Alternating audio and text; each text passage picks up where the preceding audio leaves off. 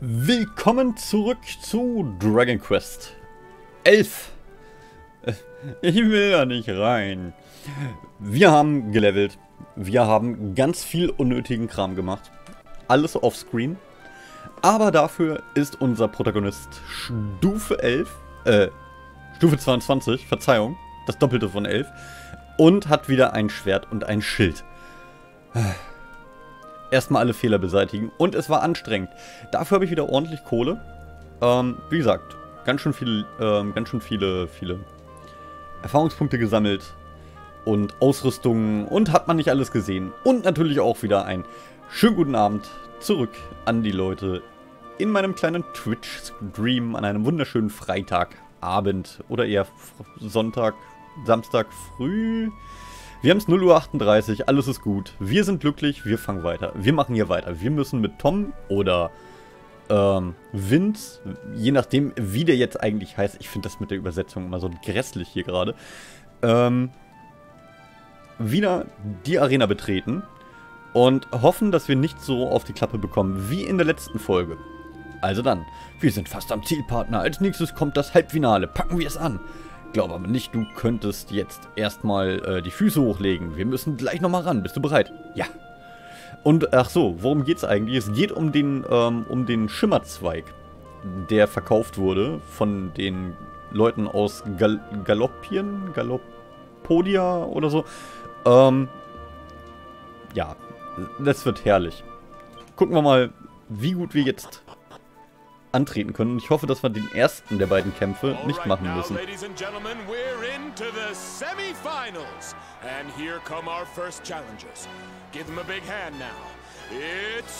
Okay. Ein Glück. Wir müssen nur gegen ähm, gegen gegen Roberto. Nee, wie hieß er denn gleich? Shit. Das wollte ich nicht.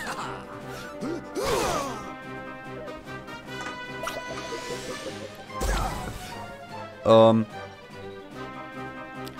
so, Gruppen, nein, Taktiken ändern. Und zwar Befehle befolgen. So. Jetzt können wir wieder. Ähm, ich habe echt den Namen vergessen von dem Typen. Wie auch immer. Wir hauen zuerst... Wen hauen wir? Ach komm, hauen wir den Goldjungen.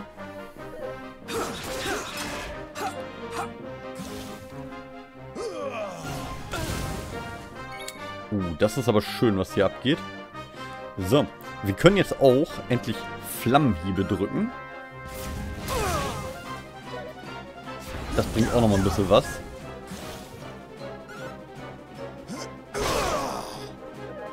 Ich will, die, ich will die ganze Zeit Roberto sagen. Mir wird gleich noch der Name einfallen. Am besten ist es nämlich jetzt diesen kleinen definitiv so schnell wie geht umzunetzen, weil genau das jetzt kommt. Genau. Das läuft jetzt noch ganz gut. Aber es könnte passieren, dass mit dem nächsten Hit nämlich ähm, unser guter Rodriguez ebenfalls Verstärkung bekommt und uns umnatzt. Wir probieren es einfach. Ja, okay. Richtig doofes Ding. Hey, das geht. Ich denke mal, wir bekommen eine Heilung. Sage ich doch. Na, umso besser. Es klappt doch. Und da haben wir den ersten. Nein! Ach Mann.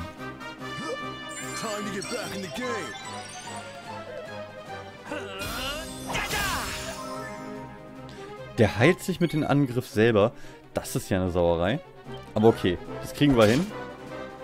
33 Schaden macht er. Gut, dass Tom noch ordentlich raushaut. Aber man merkt echt, wie viel dieses Schild bringt.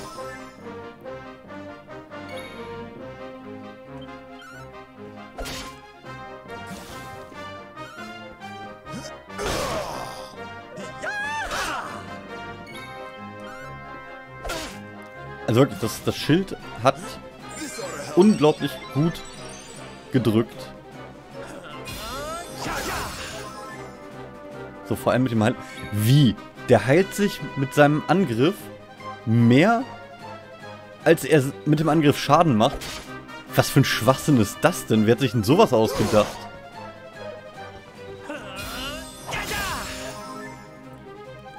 Er macht 25 Schaden und heilt sich um 26. Voll bescheuert. Finde ich. Aber okay.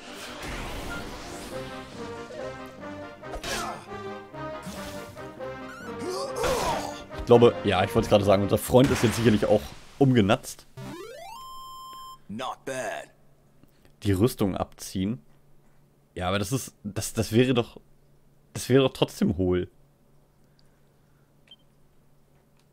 Aber 700 Erfahrungspunkte, nicht schlecht.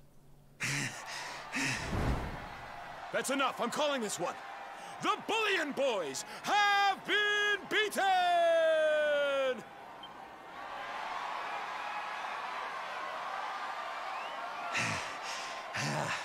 Curses! The great Silva, um, uh, Sterling Silva defeated. Rionaldo, so hieß der Typ. But I feel no shame in losing to one such as you. It was a battle of epic and legendary proportions, and I thank you for it. Good luck in the final. Da naja, wir kennen ihn ja. Wir wissen, der kommt wieder. Ladies and gentlemen, it's time for the showdown you've all been waiting for. The grand final of the Masked Martial Arts Tournament! That's right. Just two teams remain. Invincibles, if you please, Okay, jetzt wird's nochmal hart, würde ich sagen. They're hot favorites, folks. But will our hometown hero be able to retain his crown? Or will surprise newcomers Rab and Jade snatch glory from the reigning champ? Will the princess and the pudding please take to the stage? Die Prinzessin und die Plauze. Sehr gut.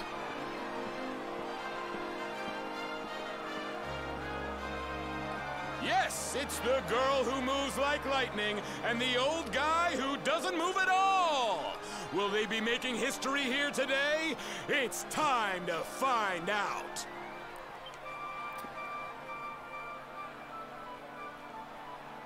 Ich bin mal echt gespannt. Something about these two gives me the willies. But we got this. Time for a little good luck boost.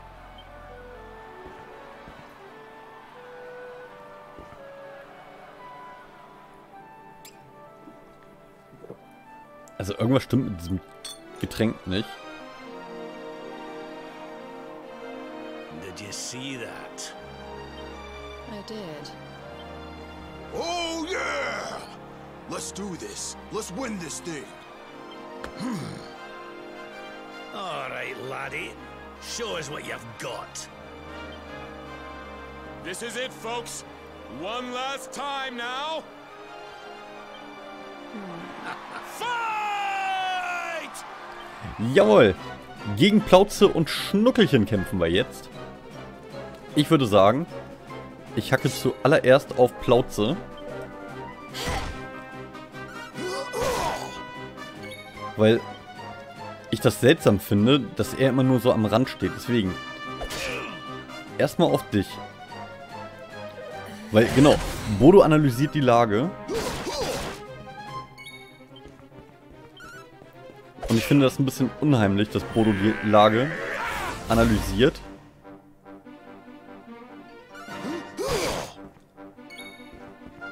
Ähm... Nee, komm, wir machen das nochmal. Jawoll! Das war mal ein Crit. Ah, er heilt sich selber. Aber das ist okay. Ja, okay. Das ist weniger cool. Das ist noch weniger cool.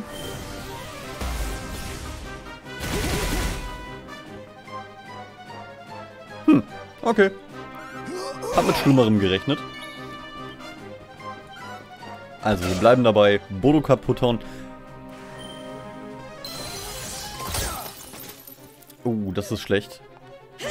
Ah, das geht.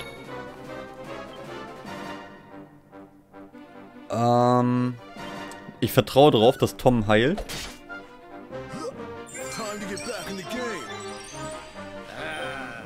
Gut gemacht. Aber das Gegenheilen ist doof.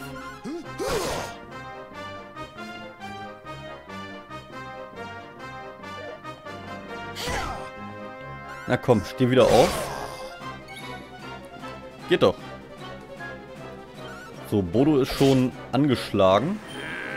Aber wie gesagt, dass er heilt, ist das Ärgerliche. Boah.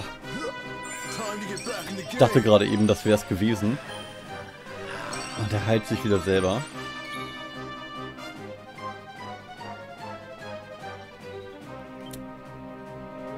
Ähm... Mal gucken, ob das diesmal klappt. Klappt nicht. Das ärgert mich richtig, dass man die nicht einschläfern kann. Das ist so, so als wäre es unnütz.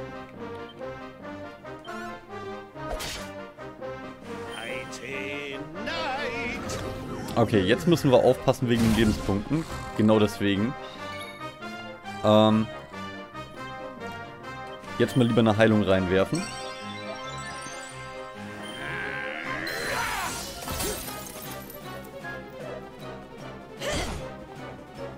So, super. Tom ist wieder aufgewacht. Jawohl. Ja, geht doch. So, Schnüggelchen. Jetzt bist du dran. Alles klar. Da kam der Crit angeflogen. Und daneben. Wunderbar. Ich glaube, du hältst nicht mehr lange.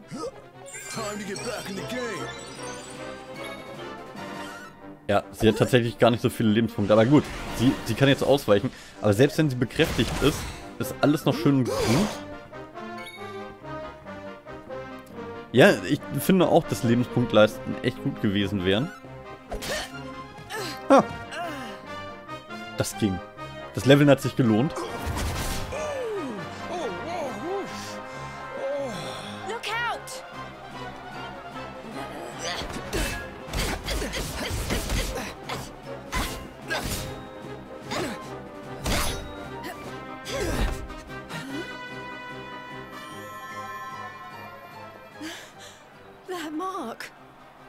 Uh-oh.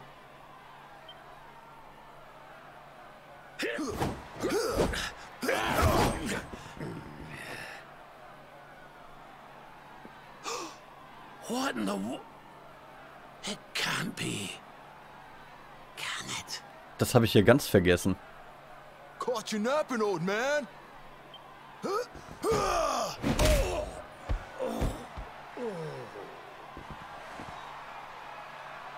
You too? What's with everybody all of a sudden? Not that I'm complaining.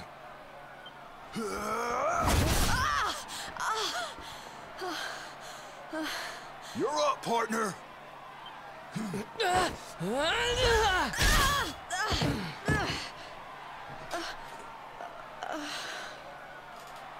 We, we have a winner! Vince Vanquish has done it again! Ja, dass ich da mitgeholfen habe, das interessiert natürlich keine Sau, ne?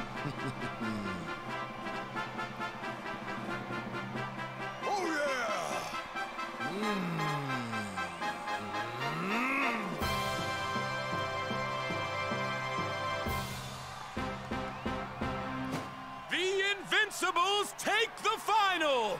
And what a final it was! Stick around for the award ceremony, folks!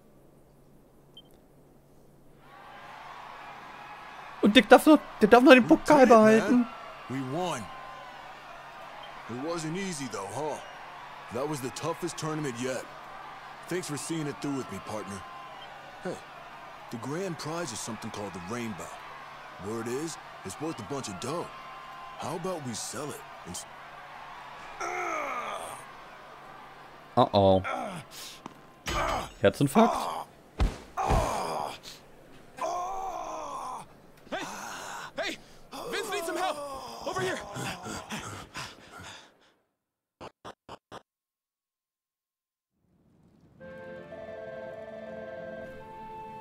Wir sind aber mal draußen. Hey, Glückwunsch, das war ja ein, eine unglaubliche Vorstellung da draußen. Die Sache mit Tom ist natürlich sehr schade. Was ist mit dem überhaupt? Aber es scheint, dass er nicht zu lange außer Gefecht sein sollte. Vermutlich fordern einfach all die Jahre des Kampfes ihren Tribut. Ähm, jedenfalls wird die Preisverleihung so lange verschoben, bis er wieder auf den Beinen ist. Sieht so aus, als bliebe ihr, äh, als bliebet ihr uns noch etwas länger erhalten. Champion! Die Turnierleitung hat dafür gesorgt, dass ihr in der Herberge kostenlos übernachten könnt. Warum ruht ihr euch nicht etwas aus? Hm. Aber ich habe doch volle Lebenspunkte. Warum sollte ich mich ausruhen? Nein, alles gut. Ähm. Ja, irgendwie ist das unheimlich. Der säuft sich erst einen zu und dann kommt der Herzkasper. Wer weiß, was das für Steroide sind, die er sich da reingedrückt hat.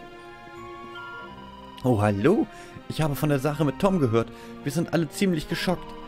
Hört mal, die Turnierleitung hat etwas Geld zur Verfügung gestellt, damit ihr heute kostenlos übernachten könnt, nach allem, was passiert ist.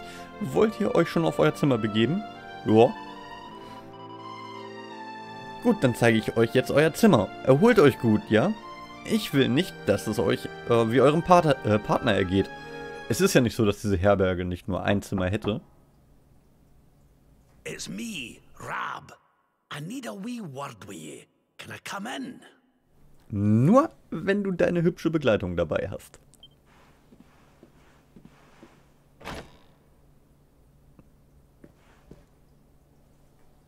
Just you in here, eh, laddie? I was hoping to speak to your pals too. Could you ask them to join us? Ähm, okay. Diese Situation ist jetzt hart eskaliert. Ich wollte eigentlich nur mit deiner... It's Jade, the lassie I was fighting with in the tournament. She's missing. I've looked all over town, but she's nowhere to be found. Das ist uncool. I can't help but worry she's got herself caught up in something. Will you help an old man look for his wee friend? Äh, auf jeden Fall. You're a star. With yourself and your pals here to help, I'm sure we'll find her in no time. Right. The last place anyone saw her was over by the orphanage. Let's start there, shall we? Ah. Seht ihr mal, jetzt kommen wir wahrscheinlich... Ach so, ihr, ihr habt das ja nicht mitbekommen. Ähm, das letzte Mal habe ich versucht, die, ähm, die, die, die Metall, äh, die Metallpuddings zu, ähm, zu suchen. Und es gibt hier ein, anscheinend eine unterirdische Kanalisation, wo es die häufiger geben soll, scheinbar. Ähm, mal gucken. Also gucken wir uns erstmal hier um. Na, weil das war ja das Ziel. Schauen wir mal, wie es dem guten Tom geht. Hallo. Sag mal, wo schläft denn der eigentlich?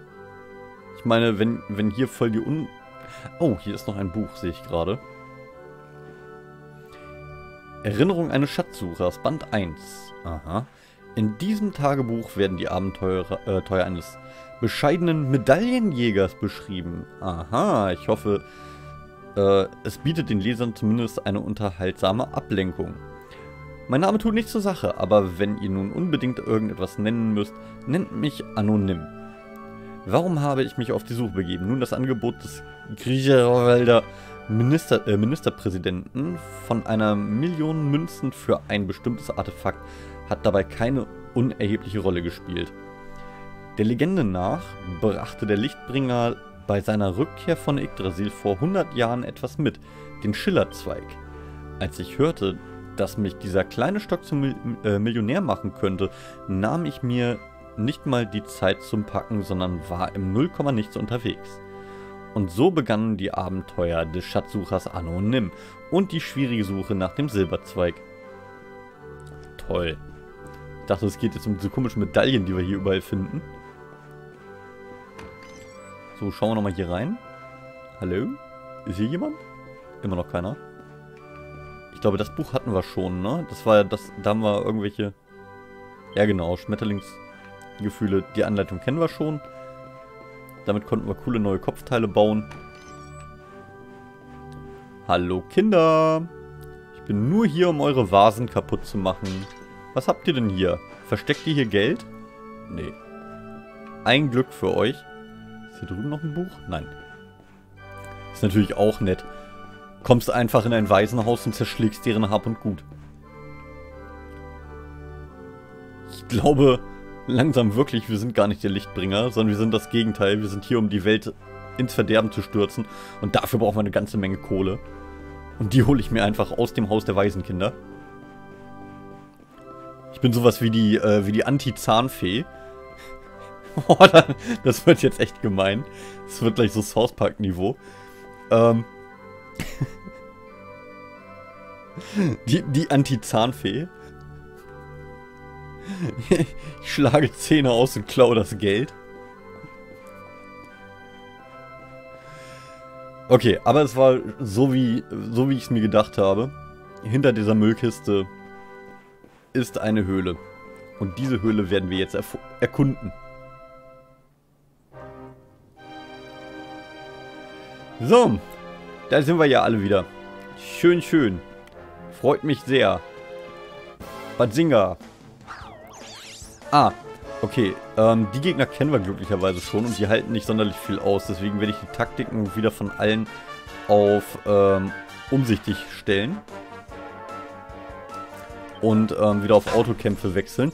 Wenn ich, wieder, wenn ich wieder in der Nähe einen Bosskampf sehe, dann werde ich den auf jeden Fall... Oh, das war's mit den Zaubersprüchen. Ähm, wenn ich wieder in der Nähe eines Bosskampfes sein werde, dann werde ich, ähm, werde ich das Ganze wieder ändern.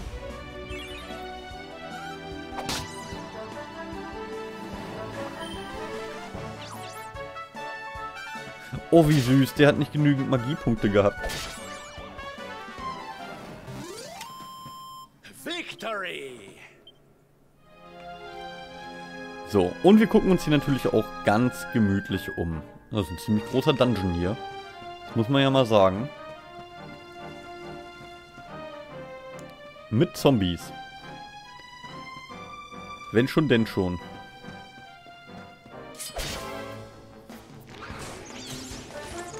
What the?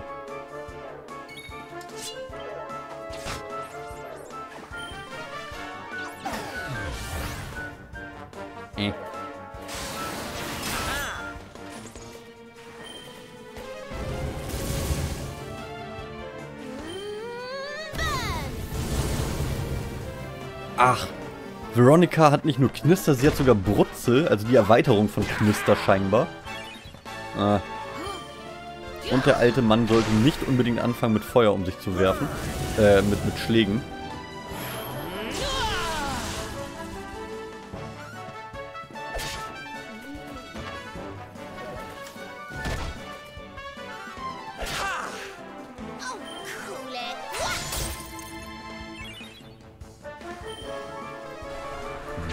Hoffe...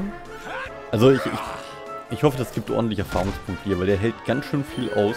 Oder es wirkt nur so. Es wirkt nur so. Ja, es hat wirklich nur so gewirkt. Also wie gesagt, hier soll es angeblich ähm, diese, diese Metallblobs geben. Und diese Metallblobs sind unglaublich gut, weil die halt eben richtig krasse, ähm, richtig krasse 2000 Erfahrungspunkte bringen. Und 2000 Erfahrungspunkte, das ist schon mittlerweile fünf, Angr ähm, fünf Kämpfer ein Level up. Und wenn die dann auch noch in Zweierteams kommen, wären das 4000 Erfahrungspunkte. Und dafür, dass die eigentlich verhältnismäßig wenig Schaden machen, ist das ziemlich krass. Gut, das sieht mir hier alles so ein bisschen aus, als ob wir am Ende dieses Dungeons gegen eine riesengroße Spinne kämpfen dürfen. Hallo.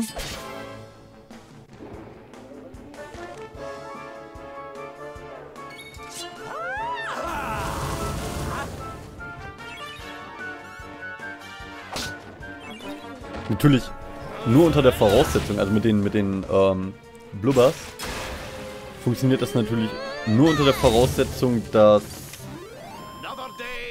dass die auch genauso viele Erfahrungspunkte bringen, wie sie es am Anfang tun. Ist er jetzt eigentlich vergiftet? Nee, ist er nicht. Sehr gut. Ja, lassen wir es einfach mal. Nee, du bist nur ein Zombie. Zombies sind blöd. Keiner mag Zombies.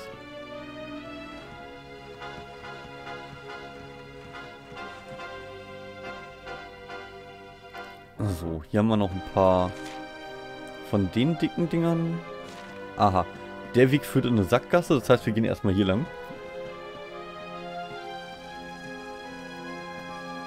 Der Grund ist ein einfacher, weil hier gibt es dann im Normalfall auch, ähm, auch irgendeinen tollen, wundervollen Gegenstand.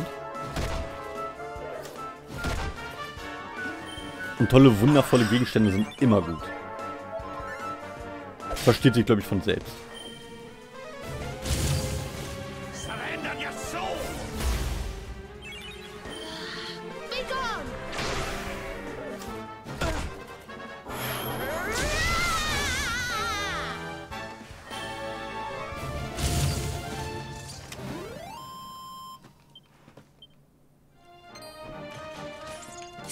Ach komm. Du kommst mir so, dann komme ich so und dann mache ich so und dann Unfall.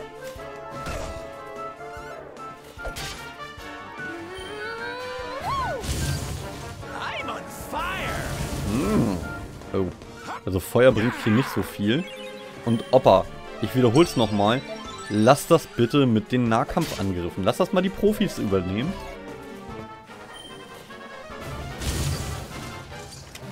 Das ist wesentlich besser als hier dieses komische Rumgehüpfe, was du hier versuchst.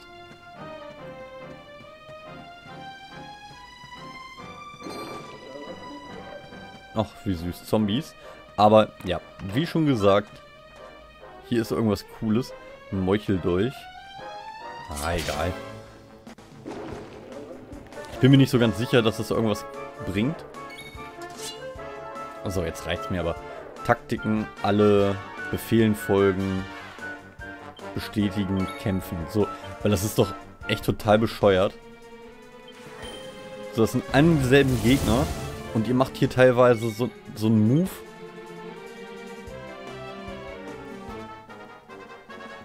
So.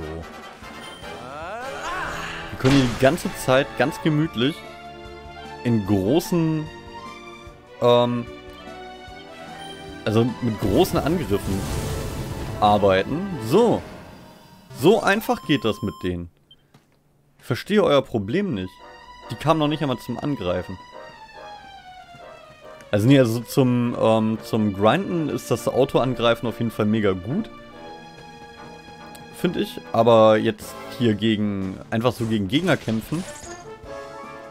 Ich frage mich, was den, was mit den, was mit meinen NPCs nicht stimmt.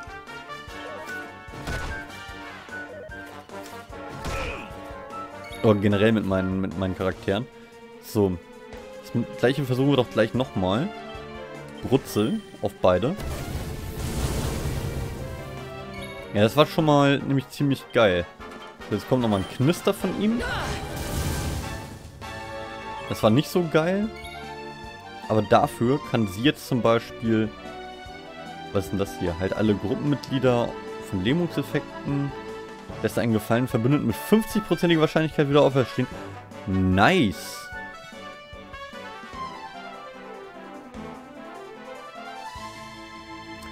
Äh, nee, aber komm. Machen wir einmal Säuse.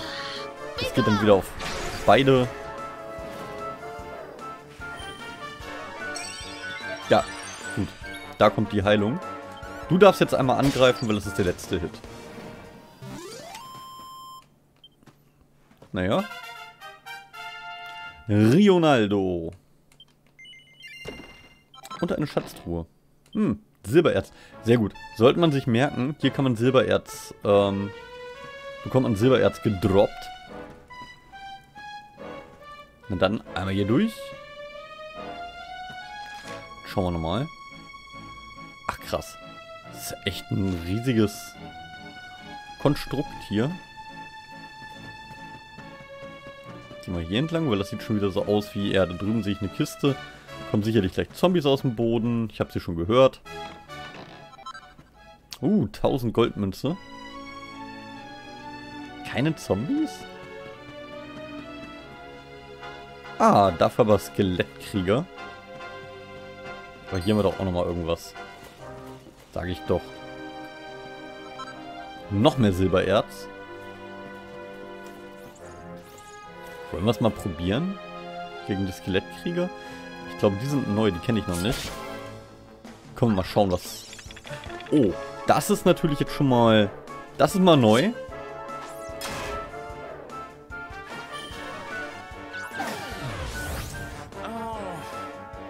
Oh, das war bitter.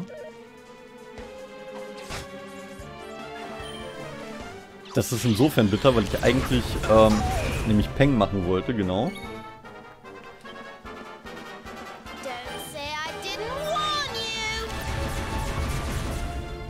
Weil ich nämlich genau das zurückgeben wollte.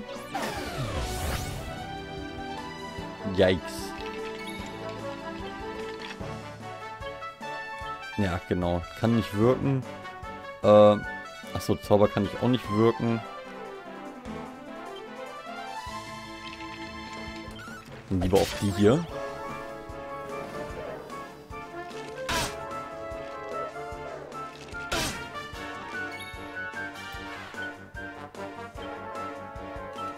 Ja, der ist auch...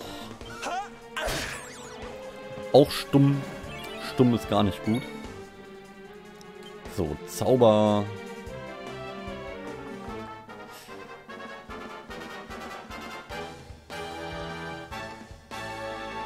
Nee, das bringt nichts. Dann lieber Veronica heilen. Vielleicht heilt der Alte dann jetzt... Nee, der heilt nicht. Der greift einfach irgendwie an.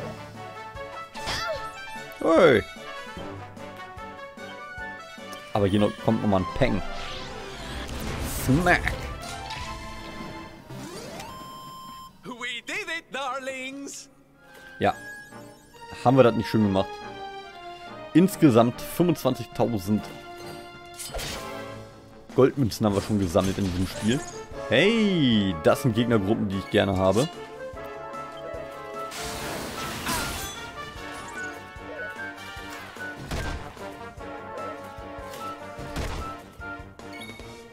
So. Zauber, Knister auf alle.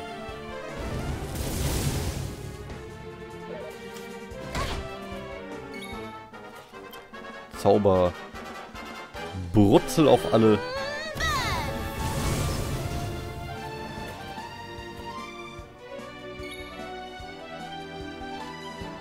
Säusel kommt noch hinterher. Und ich glaube, das war's dann auch. Ja. Sag ich doch. Alles gar kein Problem.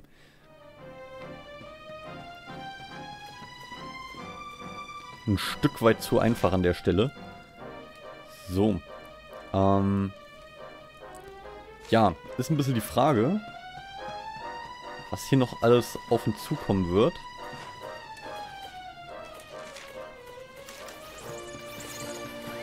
So, ich flitze mal einfach an denen vorbei und gehe erstmal hier lang. Weil hier kommen wir nämlich auf jeden Fall wieder nach oben zu einer Sackgasse.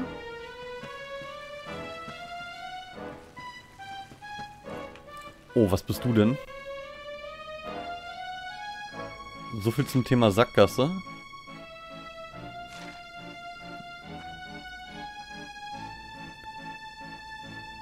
Da gehe ich wieder zurück. Ähm, ja, ich würde mal sagen, den großen, also ich würde mal erstmal sagen, ähm, erstmal Magie wirken. Mittelheilung, ja doch, Mittelheilung. Einmal auf ihn. Ja komm, dann einmal noch auf ihn. Heilung auf Veronika und nochmal auf sich selbst.